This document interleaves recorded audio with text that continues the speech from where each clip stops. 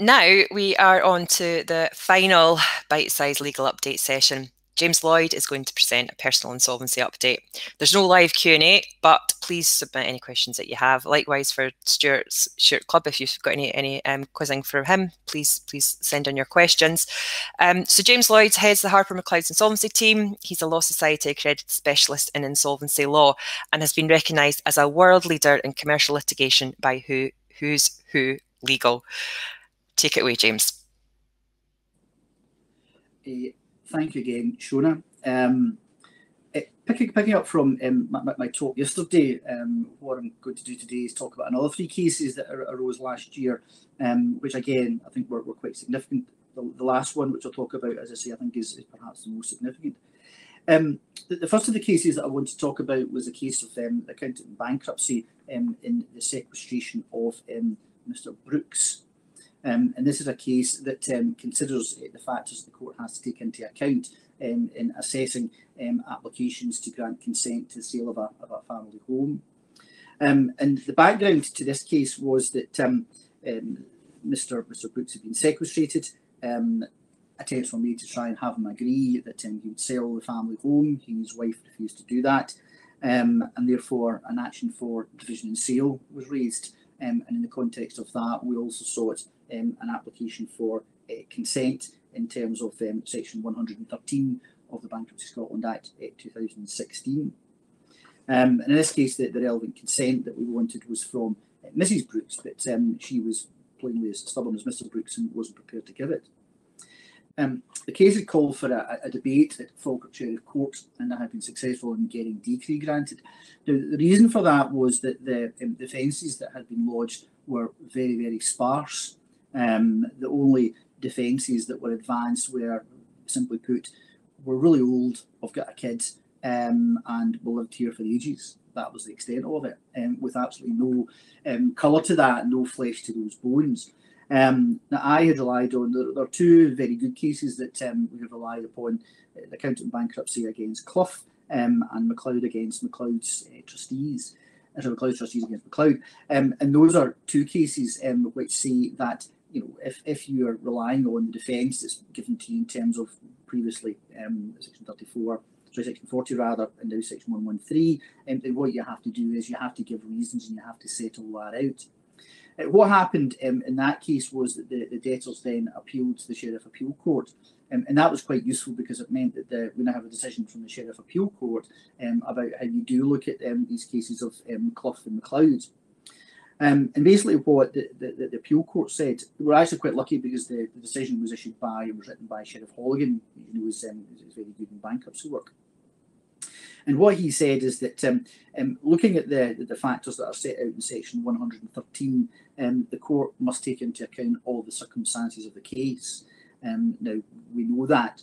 Um, but what section um, the Sheriff Appeal Court said was that it was neither possible nor desirable uh, to provide a, a prescriptive list of the factors nor to determine what weight you should give to any factors. These so really it's, it's always for a sheriff to look at what factors are relevant in a case um, and what weight he ought to apply to each of the each of those factors. And therefore, it wasn't for Parliament to say you must do this and you must do that. So it is all quite a flexible, um, a flexible position. Um, but basically, um, looking at it, what the sheriff has to do is view all these these factors um, and deal with them reasonably um, in light of the facts and circumstances of the case one of the interesting things which I, I thought the, the, the, Sheriff Appeal Court made was that um, although a, a, trustee may well have information um, in a, a, about a debtor's circumstances, it's not for him uh, to put all that before the court. Um, really, so effectively, it's not for the trustee to say why a property shouldn't be sold. That's the job of the, the debtor.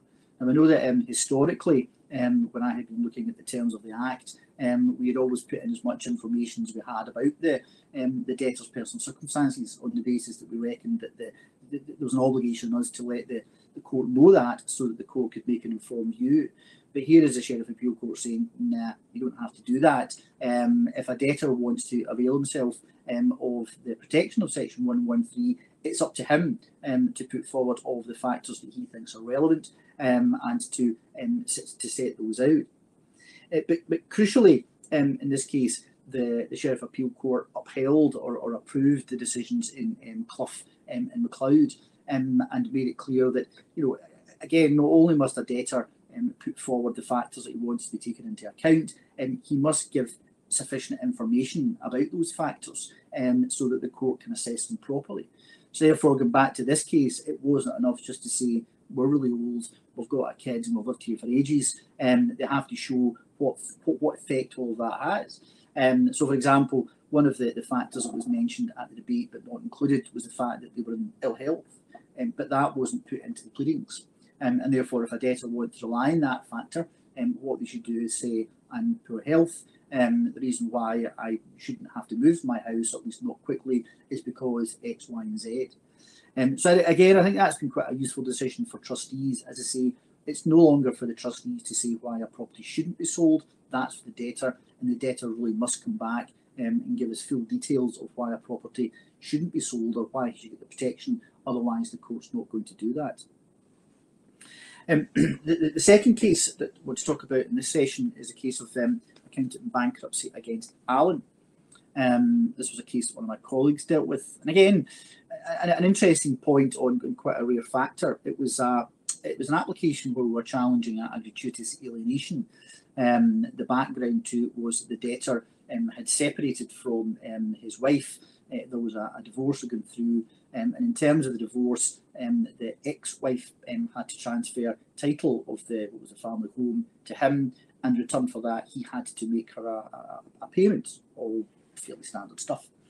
Now the problem was that um, he couldn't get the, the money to do that, um, but at this time um, he had a new partner, and it was agreed that the, the new partner would come onto the mortgage, um, and that way they would be able to borrow the money uh, to buy out the ex-wife. Um, so as part of that process, what happened was that the, the, the debtor uh, transferred um, effectively one half of the house or, or what was the ex-wife's um, half that, that was due to him. He transferred that to his new partner. Um, what then happened was he was made bankrupt, um, and we then raised an action to challenge um, that alienation in favour of the new partner. Now, what he came back and said, and again, this is kind of not an unusual set of circumstances, was that, well, you know, I, d- I did all this as part of this this arrangement. Um, it was all done in good faith. It wasn't done with a view to um, defrauding any of our creditors. Well, you know that. Um, and in any event, um, this is not an alienation which is uh, challengeable uh, because it's a gift. Um, and he tried to suggest that it was a, a gift, a conventional gift, um, and therefore um, it was one which it got protection in terms of the Act. Now, again, this, this is unusual. You don't often get um, defences based on gift, um, and there haven't been that many cases about what is actually meant by a gift. Um, but in this particular case, the sheriff was um, quite easy or, or, quite easily rejected that um, for a couple of reasons. Uh, the, the, first point he made was, well, plainly it's not a gift. Um, because usually a gift is given for nothing. This plainly wasn't given for nothing. It was given as part of this scheme whereby um, she was getting the, the, the, property in return for coming on board with him um, to buy out the, the, the wife's interest. Um, but more seriously, um, the reason why he said it wasn't a gift is because when you go and look at the Act, um, the Act talks about um, birthday, Christmas, um, or other conventional gifts. And he took the view that this plainly didn't fall within that category that was anticipated by the Act you know, um, the, the, section of the Act is designed to cover things like birthday gifts, Christmas gifts, um, perhaps occasional gifts to wives and children, and all the rest of it. Um, it's not that, that this was so out of the ordinary um, that it couldn't be viewed as being a conventional gift, um, and therefore, uh, for that reason, um, it was um, uh, he, he, the, the, defence was rejected. Now, ultimately, what happened in that case it was that the so so he granted um, he granted the orders that we we're looking for. Ultimately, what happened was that the defenders um, appealed to the Sheriff Appeal Court. Um, but before the Sheriff Appeal Court, they completely abandoned this argument, um, accepting that it was correct, um, and then changed their case um, to say that there was um, consideration given. The consideration being because um, the wife has, has come on the uh, come onto the mortgage with the husband, and, and that's still something that's, that's to be determined. but I think, from our purposes, as I say, I think what it means is that when you, if you ever are faced with a case where someone is saying, no, no, no, this was a conventional gift, Um, I think unless it is something which is a birthday gift, a, a, Christmas gift, or something which is obviously the sort of thing that you might imagine it might be, um, then I think you can say no, no, no, that's that, that that's that's that, that's not a gift that can be um, can be accepted. So as I say, it was quite useful because we don't have many cases um, dealing with them with, with, with that section. And um, the, the, final case that I want to talk about, and maybe the most important of the, the past year or so, um, was a case dealing with the issue of whether or not a debtor has to pay statutory interest um, if they apply for the recall. Um, this was a case of um, accountant bankruptcy's application um, in the sequestration of Mr. VCY. That's how I think it appears in the, in, in the court reports. Um, and the background to this one was that um, Mr. VCI it was sequestrated um, in 2016 um, by HMRC, and the date of sequestration was December 2015.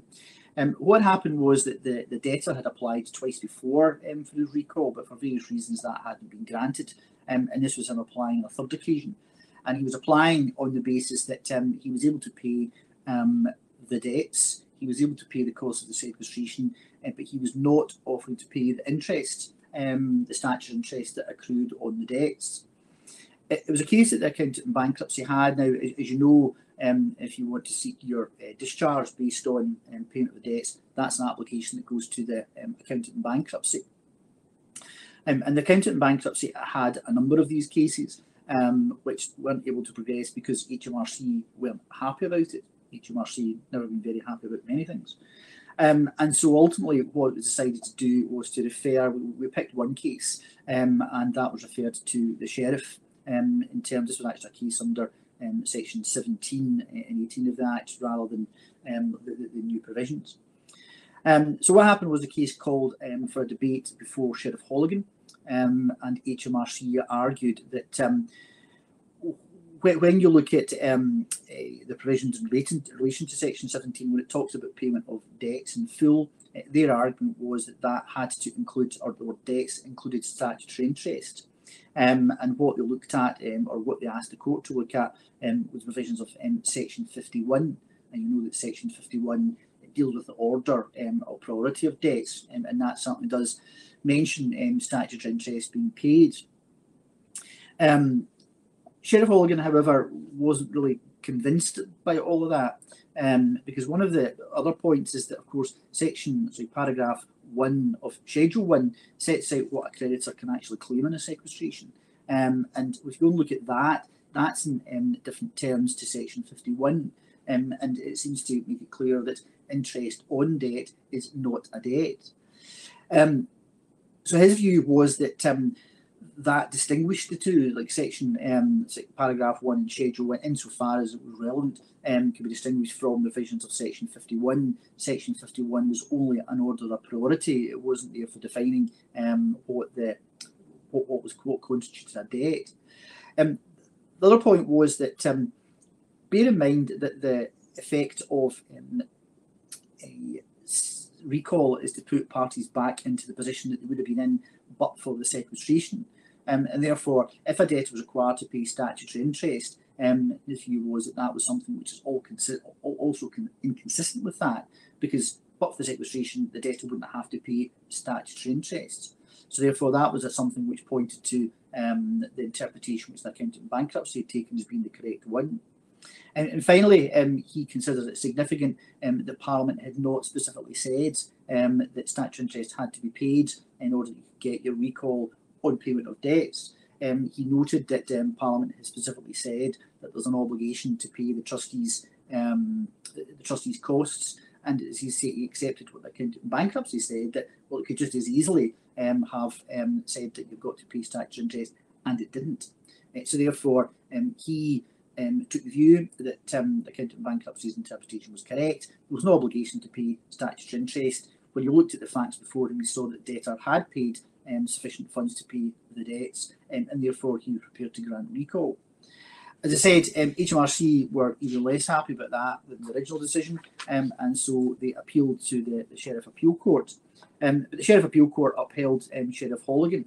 They accepted that his reasoning was, was was entirely correct, which is that you know Section 51, on which HMRC had put a lot of reliance, That's simply uh, orders of priority. That's not actually defining what, what debts are.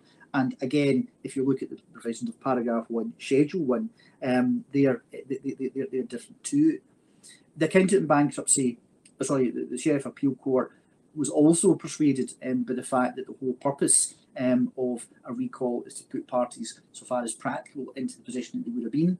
Um, and that too was something which tended to suggest that the AIB's um, interpretation was correct. Um, and also that you know, he picked that they picked up on what Sheriff Holligan had said that if that's what Parliament intended, it could just as easily have said that. Uh, so therefore, the appeal was rejected, um, and the situation remains that if a debtor wants to apply for recall based on payment of their debts, having paid their, their debts in full, they don't have to pay statutory interest um, in order to fall within the categories um, or, or, to be eligible to get recall on that basis. That all having been said, there, there are two points which you have to bear in mind in which um, Sheriff Holligan picked up on in his judgment. Uh, one is that um, uh, recall is at the end of the day a discretionary remedy, and therefore neither the courts nor the accountant bankruptcy are bound to grant recall, um, even if the circumstances um, apply. Um, so therefore, Sheriff Holligan didn't actually say what the answer would be, um, but he did imagine a circumstance where a, debtor perhaps allowed a sequestration to go on for a number of years, um, only then applying for um, his, his, his discharge or his recall rather by which point there might be quite a lot of statutory interest. So therefore, I think the implication is that the longer the matter goes on, uh, the accountant bankruptcy or a sheriff may very well say, well, yes, I accept your paying your debts, but I don't think it's fair that um, recall should be granted. I have to confess, I'm not quite sure if that would actually happen, but certainly it's important to make the point that, you know, just because of this decision does not mean that, that in each and every case a debtor can pitch up, pay their debts and go off without paying statutory interest and get the recall. Um, but that's certainly what we tend to suggest. The final point, um, and potentially, I suppose, a sting in the tail, um, is that on the basis that recall puts parties back in the position that they would have been in, um, but for the sequestration, what that also does is revive any other obligations that a debtor might be under um, to pay interest. So, therefore, if there's a contractual obligation to pay interest, um, that would revive, and therefore, a creditor who hadn't got their um, their, their interest, their statutory interest, it could raise a separate action or if I've got a decree, um, enforce that. Um, and therefore, that's something that I suppose a, a debtor, um, especially if they've been um, sequestrated for some time and, start, and, and, and interest may have accrued, um, should think about before um, they, they, they, apply for a sequestration, sorry, for that for a recall. So, as I say, I, I hope that's that's all been, been useful. Um, if there are any other questions that you have, then I think you can apply and send them to ICAS or to me, and I'm always happy to uh, to answer them. But with that, I'll uh, pass back over to Shona.